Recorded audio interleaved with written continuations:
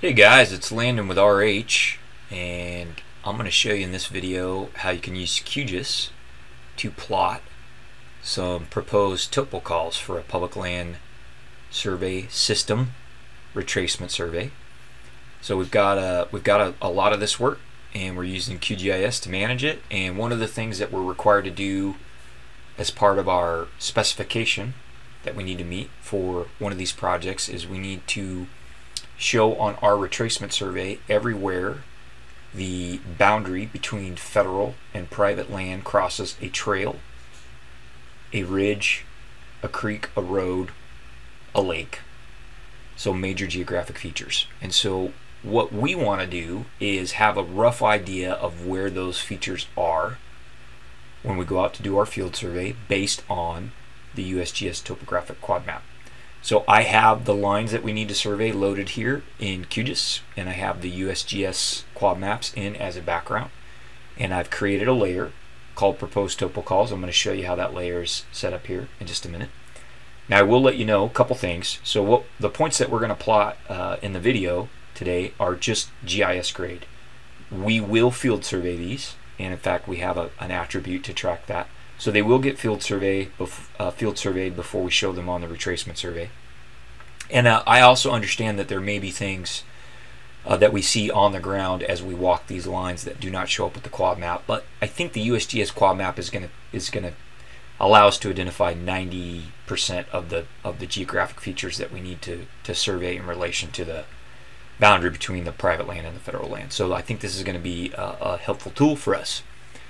So let's let me show you how I set this layer up.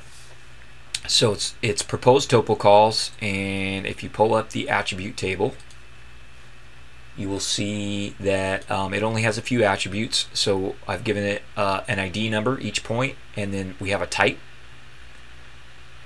So what type of geographic feature is it? And then we just have a couple true false columns.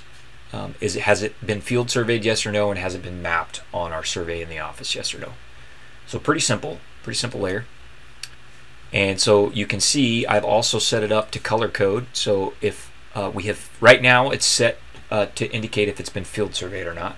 So if it's been field surveyed, it's true. If it hasn't been field surveyed, it's false. But you could uh, color code based on any attribute that you wanted. Right now I just set it up this way uh, to show what's been field surveyed and what hasn't, just as an example. And so let me just show you the way you do that. Um, and I have a, I have a separate video on our learning channel that that shows you how to set up a categorized symbology. So uh, right here on your symbology, you just click categorized, and then you pick the attribute that you want. So right now I have field surveyed, and then you go in and you set up your each row in your table, um, and you set up your symbols, your colors, and your strokes, and that kind of thing. So uh, if I click on this, you can see an example. So here's how I've set that up and then if you click here you can set your your your uh, properties of your your stroke and your fill. Um, I've also set it up to just label uh, the ID so the ID is being labeled here uh, with our company font. At 16 points and I've got a little 4 pixel buffer on it. So that's how it's styled. So that gives us here you can see the ID labeled with that little buffer. And I've got the stroke uh, the dash stroke and the red or green fill. So uh, let's just show you how this would work. Like what would my survey tech do if they came in here? now one other thing I will, well, I'll get to I'll, I'll get to that in a minute. so let me just show you how that would work. So uh, I'm going to go ahead and toggle the layer and make it editable. And then right here I'm going to click on the create point tool, so the add point feature. And I know as I move up this line here, uh, right here we're going to cross a creek more than likely. So I'm just going to tag that and we'll give it the ID.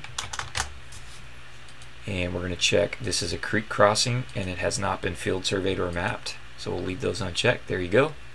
Draws that in. Okay, same thing here. 3006 creek crossing hasn't been field surveyed. Okay, now as I come in here, this is getting a little tricky. I'm going to get really close to this road here. So I'm going to go ahead and just drop it in just to be safe. Now, the road may not cross the boundary. We'll have to determine that when we're in the field. Let's say road crossing. All right, and then we've got another one. Here's another road crossing.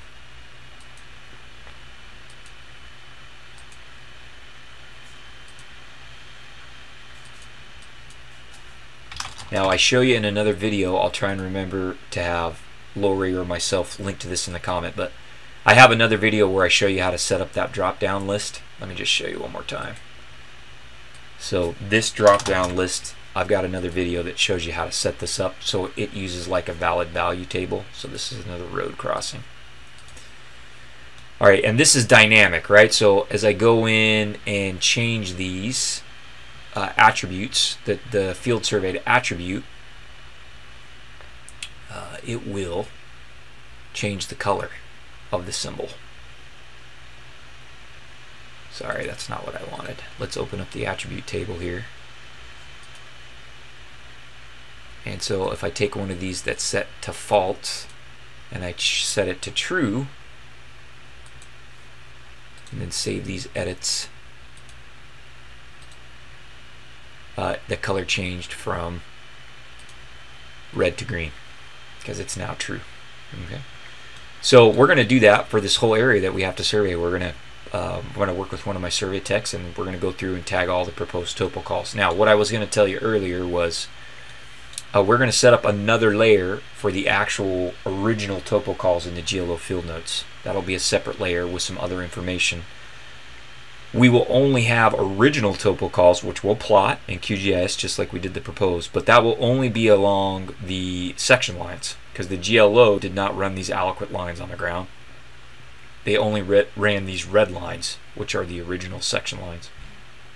But we will have a separate survey, sorry, a separate layer where we also plot the original GLO topo calls. And then all this will get packaged up and will go out to the field crew either in the Avenza mobile app or in um, uh, Mergin. Um, I don't know if it's Mergin Maps or Mergin Maps, but the app that lets you bundle up a QGIS project. So our uh, our field surveyors will have this, and then as we field survey these calls and map them, we'll be able to track our progress. Uh, we've got many many miles of this to do, like like a lot, many many miles. So um, on a on a large project like this, it makes sense to have a, a GIS to help you keep track of stuff. Right? You don't want to you don't want to miss stuff or lose track of stuff, and so QGIS is a great tool to do that.